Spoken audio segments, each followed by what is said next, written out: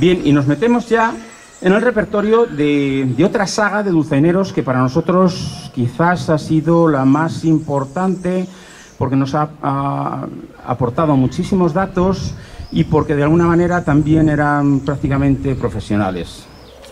Gelasio Quintana nació en 1902.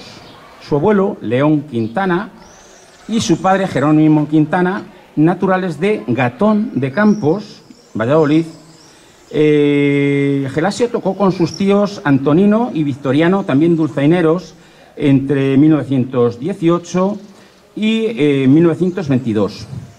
Cobraban el baile con un burro para recoger el trigo. Cada mozo pagaba dos celemines de trigo y siete reales por el baile de todo el año.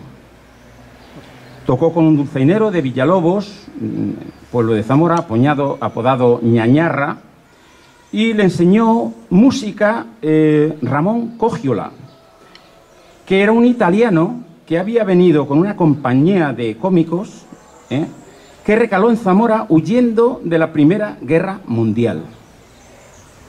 Tocó en los años 40 para la Cátedra de Sección Femenina, la caja, eh, porque él sobre todo tocaba clarinete, requinto, etc. Y falleció el 29 de mayo de 2010 con 107 años y 262 días. Luego hablaremos más al respecto. Gelasio Quintana.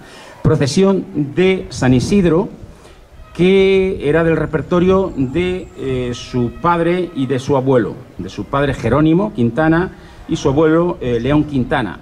Esta música en 7x8 venía de la zona de Gatón de Campos, eh, zona donde también hay muchos, muchos danzantes.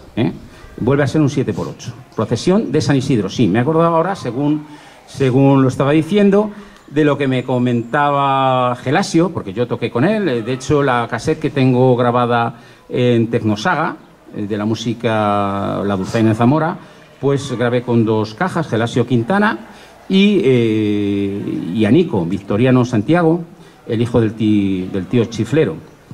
Eh, que los mozos en el pueblo, cuando hacían la procesión de San Isidro, se las arreglaban para que cuando tiraran el cohete, ¡pum!, eh, cayera justo en, el, un toque de la, en un corte de la caja y el bombo.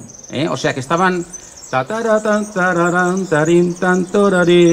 Tataratan, tararán, tarin, tan, torariran, terariru, tan, trireriron, tan, trireriron, tan, tiro, ta, tiro, tiro, tan, trireriron, tan, tan, trero, ¡pum! Ahí trataban los mozos de hacer coincidir el cohete. Eh, cosas por el estilo, lo estábamos contando aquí en Villanueva del Campo, pero que sin duda se darían en, en más sitios.